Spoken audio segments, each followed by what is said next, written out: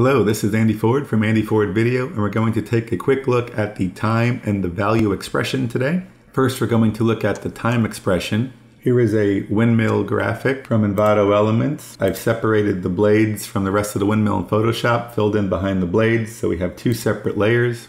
Now the time expression is going to return the composition's current time in seconds. So we're going to use this value to add movement to a still image. First thing we're going to do is just zoom in and make sure anchor point is right in the middle of these blades. If it's not, these blades are going to spin with a little bit of a wobble. Next thing we're going to do is add an expression for rotation because we want to make the blades rotate. So we alt click or option click on the Mac, the stopwatch for rotation, and the time expression is extremely easy. It's just the word time. As I play this, you'll see it moves very slowly. By default, time rotates one degree every second but we can speed this up using math. So for example, we can multiply by 10. Just add asterisk 10 and play that back. Now it is rotating 10 times faster. We can make it even faster by multiplying by a larger number. And so this is a quick way to change the rotation of your blades without having to worry about keyframes if you need to make any changes. Let's put the rotation back to 10. And now let's say that we want to make the blade speed up for a small period of time, but otherwise keep this consistent rotation.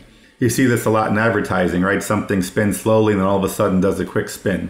So we can add a keyframe for the period of time that we want this change to happen. So let's say we go to 10 frames and put a keyframe for rotation. Then we move down five frames, change rotation 180 degrees. So now we have a quick period of time, five frames, where we have a large amount of rotation over what was traditionally happening. But if we play this back, we notice nothing happens. And that's because our keyframe values are being ignored in favor of the expression.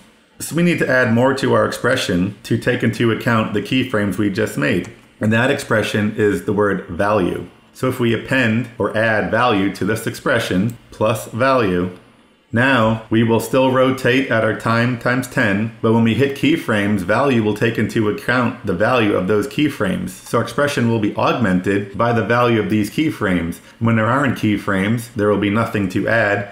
It will just be our normal time times 10 expression. So as you can see, we have the regular movement of our blades and then we speed up when we hit the keyframes. So time plus value allows you to automate movement and also take into account any keyframes you want to add to enhance or augment that movement. Thank you.